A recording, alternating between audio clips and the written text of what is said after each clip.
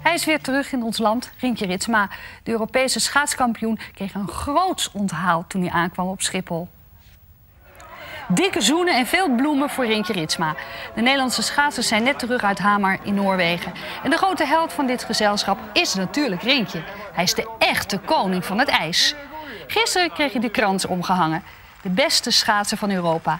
Hij won op het Europees kampioenschap drie van de vier afstanden en hij brak twee wereldrecords. Dus wacht hem een echte oranje ontvangst op Schiphol.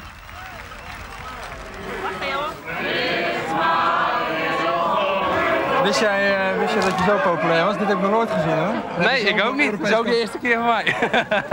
Waanzinnig hè? Ja, dat is echt fantastisch. Hoe heb je, heb je een beetje kunnen slapen na alle spanning? Uh, nou, ik heb niet echt veel spanningen gehad. Uh, een beetje wedstrijdspanning, maar dat hoort erbij. Uh, dat is gewoon, als je dat niet hebt kun je niet goed presteren. In Lemmer, het Friese plaatsje waar Ritsma woont, zijn de lakens uit de linnenkast gehaald en beschilderd. Ballonnen en vlaggetjes komen tevoorschijn. Lemmer is trots op zijn held. Ook op de oude school van Rintje wordt druk gewerkt aan een cadeau. Nou, het is heel knap voor Rintje en hij.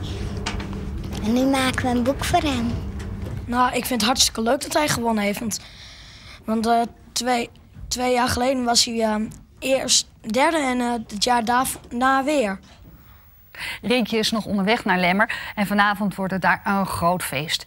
En ze hopen dat hij volgende maand weer op het podium staat bij de Olympische Winterspelen.